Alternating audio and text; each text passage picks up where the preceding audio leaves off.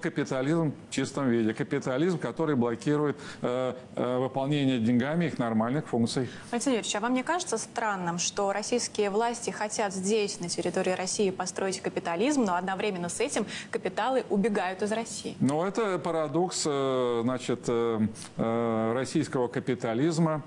Часто слышу такое словосочетание от некоторых чиновников, от э, предпринимателей, э, значит, национальный капитал. Вы знаете, я все-таки учил в советское время и э, помню массу э, цитат, которые говорят о том, что капитал национальности не имеет. А капитал космополитичен. Капитал стремится туда, где слаще, где выше норма прибыли.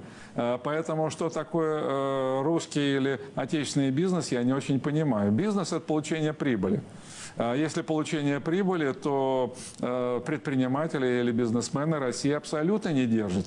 Поэтому он, подобно дрессированному хомяку, побежит туда, э, где, скажем, будет более высокая ключевая ставка, потому что там можно положить деньги на депозит и э, жить припеваючи. Э, Поэтому они действуют на основе рефлексов. И хозяева денег прекрасно знают все эти э, рефлексы, и они эксплуатируют эти самые рефлексы.